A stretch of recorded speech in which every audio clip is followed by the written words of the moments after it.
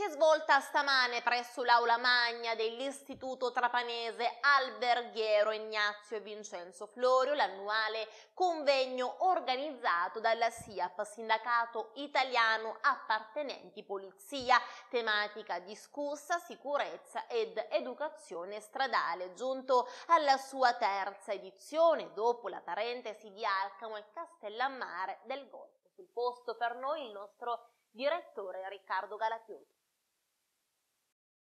Ringrazio tutti per avermi invitato perché purtroppo l'omicidio stradale è la prima causa di morte fino a 40 anni.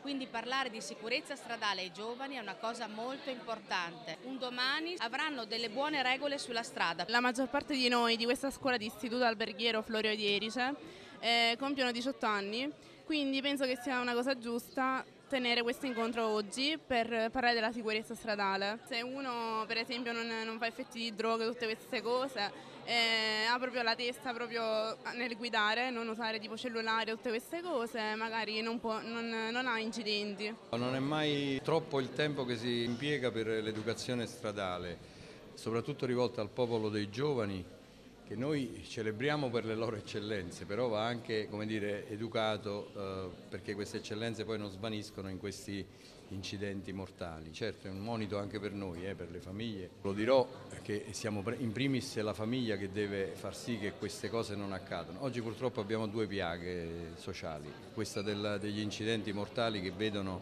sempre come protagonisti i ragazzi e quello della violenza di genere. Sono due, due bubboni che oggi attanagliano questa società. Dobbiamo lavorare, queste iniziative devono assolutamente essere replicate perché, come si dice, repetita juvent e, e quindi dobbiamo essere vicini ai ragazzi anche nell'educazione e nell'indirizzarli sulla, sulla strada insomma, diciamo della, della sobrietà.